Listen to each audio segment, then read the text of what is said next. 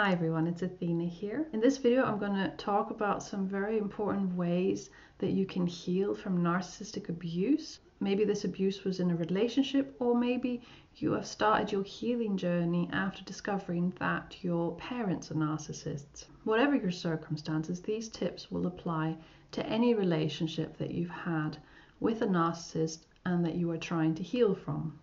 First of all, it is important to know that the initial stage is understanding what has happened to you. It's identifying that, yes, indeed, you have been with a disordered individual, or yes, indeed, you have discovered that your parents actually have this personality disorder. They have narcissistic personality. And when you first identify this, you will be online constantly searching about narcissistic personality. You will be trying to read as much as you can to gain clarity and to understand what's happened to you and to understand how these people are and how they react and how they treat people. You will want to understand everything you can about somebody with this personality disorder. And that's okay. That's the first step the realization that actually you have been abused by a disordered individual and nothing was actually your fault. Once you discover this, of course, you then have to move on. Sometimes, when you um, discover you've been in a relationship with a narcissist, you may have a lot of obsessive thinking. You may feel very addicted to this person, and having an addiction to a narcissist can actually be the worst kind of addiction because the obsessive thoughts and the unfinished business that usually comes with the end of a relationship with such an individual can be excruciatingly difficult to stop. However, there is hope as long as you turn the focus onto yourself and not on the narcissist anymore, then you can heal. So, the first step is to learn how to self soothe, is to learn how to care about yourself and put your needs first. For those of you who ended up with a narcissist, you probably never knew how to look after yourself first. You probably don't have a solid sense of self. You are probably somebody who doesn't like yourself very much. You have to first learn to love yourself and to self soothe and practice self care. You are the most important person.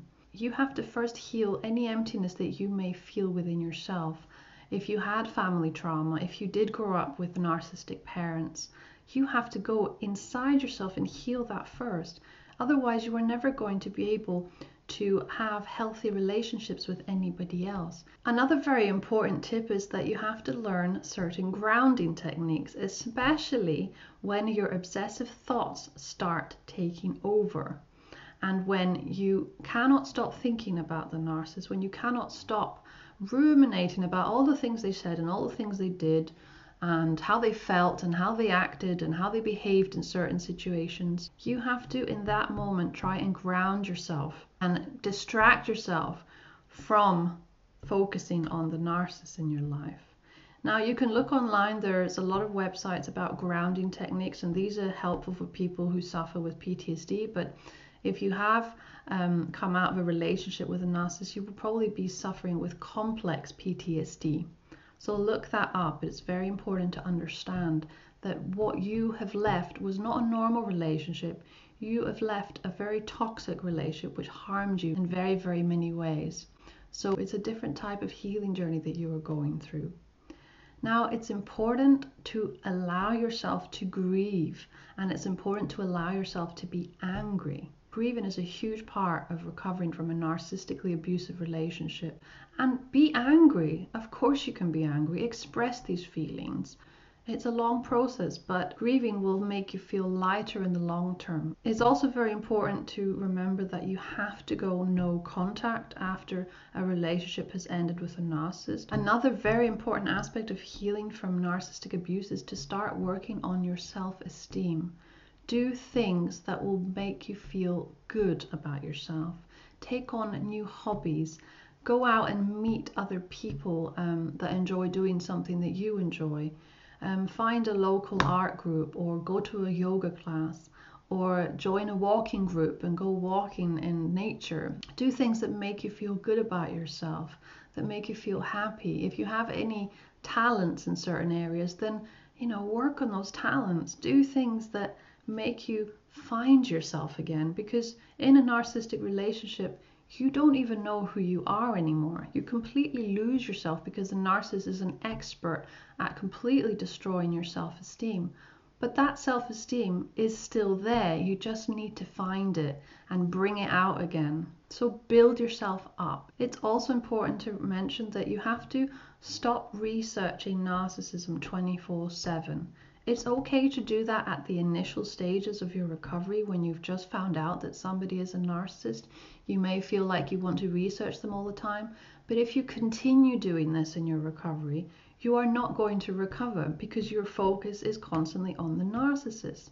It is also important to remember that you can actually forgive yourself for having been in a relationship with such a person. It is not your fault. You didn't know. You know, nobody seeks out abuse, nobody wants to be abused. If you had narcissistic parents and then you ended up with a narcissist, it wasn't your fault because you were already in an environment like that, which means that it's only natural that you will then end up with somebody that resembles your parents. So don't be too hard on yourself, forgive yourself, and learn to notice red flags so you don't end up with this kind of person again. But the most important thing is that if you do not heal yourself from inside, you will not be able to then find a healthy relationship if you are not healed within yourself, if you haven't increased your self confidence in yourself, if you don't love yourself unconditionally, you are not going to then find somebody that will respect you and love you unconditionally. So that's the end of the video today. I really hope these tips helped you. I wish you all the best in your journey of recovery from narcissistic abuse. And if there's any questions that you have at all, then please feel free to email me as always. Lastly, don't forget to check out my assertiveness course. It is in a PDF format. It is ideal for those of you who are not quite ready yet to attend an assertiveness training class. It's got 30 pages of really good information about how to be assertive in certain situations, such as dealing with criticism, dealing with someone who's aggressive, um, dealing with someone who's just not hearing what you're saying. It's great for people pleasers. It helps you to say no without feeling guilty rather than saying yes and then regretting that you said yes. So please check it out. It is available and you can email me if you would like a copy of this PDF. So please feel free to do that and I will send you the link. And take care of yourselves and see you in my next video. Bye.